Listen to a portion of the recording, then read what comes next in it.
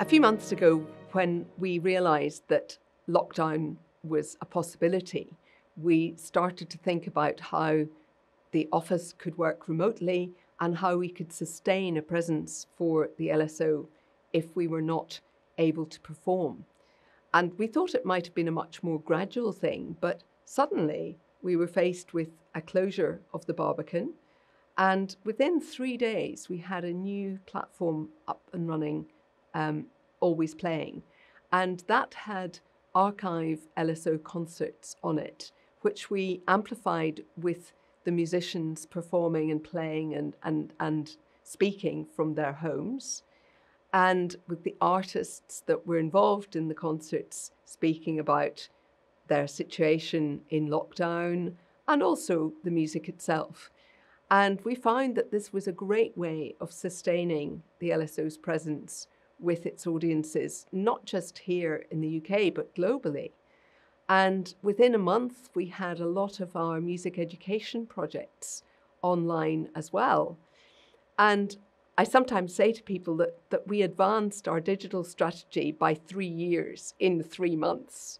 We already had the basis from which to start to do this, but we were building it.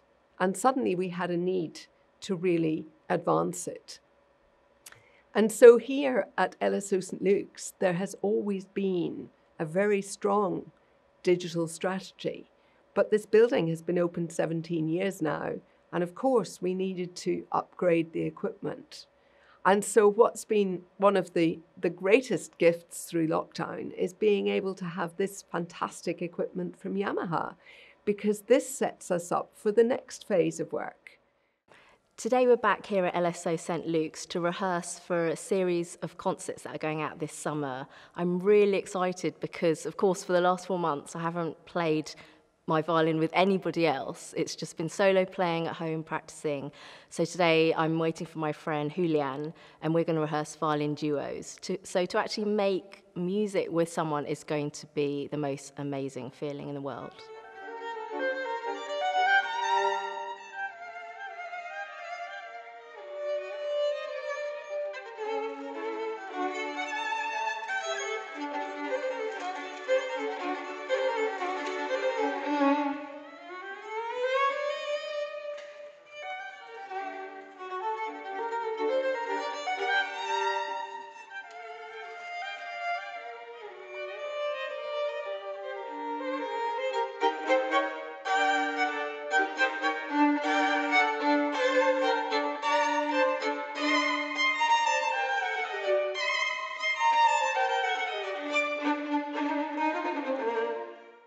Although the concerts are being streamed and we can't have an audience yet, it's an amazing feeling to just know there are people watching the concert through the live feed. We've put on so many archive concerts in the last four months through the orchestra, which has been great, really great way to engage with our audiences who can't come to concerts. But knowing there are going to be people actually watching at that time of the concert is going to be so special.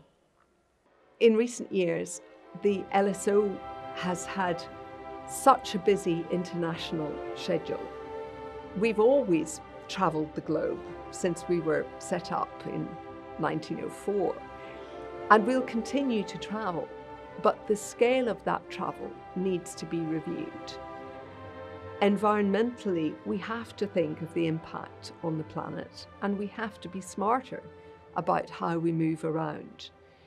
And we also have to think about the impact on people's personal lives. Musicians have families, they have other things in their lives apart from their playing. And if you are abroad as much as we have been in recent years, I think it takes a toll. And I think what we've learnt in lockdown is that there's a way of keeping in touch with our supporters internationally and indeed developing new audiences internationally through the digital medium. You probably know that, that we set up our own orchestra recording label 20 years ago. It's called LSO Live. And that has really been the catalyst for all our digital work. The fact that we owned our own intellectual property and then could use that in different ways. So nowadays, um, since we've moved into audiovisual as well as in audio, we can repurpose some of those performances for our education program. And we can make a whole range of uses of one recording. Um, and now having state of the art equipment here at LSO St Luke's means that we can do that much more easily. And it's such a beautiful building. It looks wonderful uh, on screen. And so I think there's immense scope for what we can do. And this extraordinary equipment provided by Yamaha has enabled us to take our digital projects forward in a way that we couldn't have dreamt of in a remarkably short space of time.